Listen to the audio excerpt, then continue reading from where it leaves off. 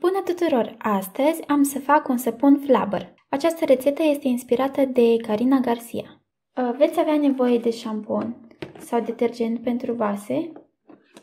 Aici am să încerc cu șampon, iar aici cu detergentul pentru vase. Această rețetă nu are măsurători exacte. Veți mai avea nevoie și de amidon de porumb. După cum am zis, această rețetă nu are măsurători exacte. Am, adăugăm amidon până nu se mai lipește de mâini.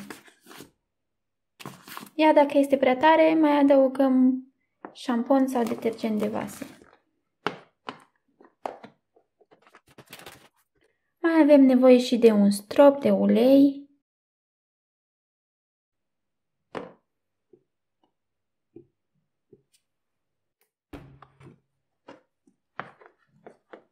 și colorant alimentar.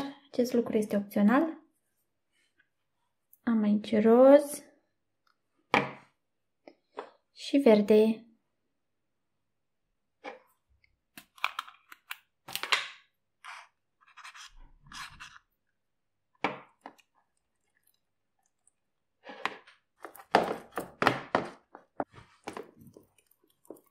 Și cam așa arată.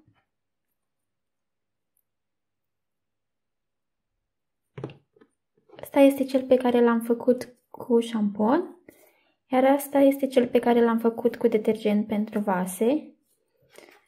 Din păcate ăsta nu se întinde și se cam ia culoarea de pe el, este și lipicios. Nu știu din ce cauză nu mi-a ieșit cu detergent de vase, dar asta este. Mă bucur că mi-a ieșit cu șampon.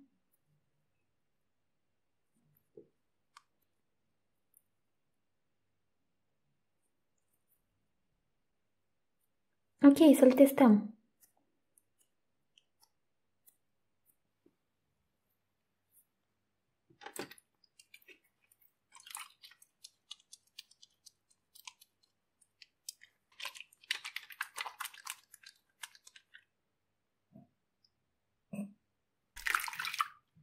Ok, și asta este.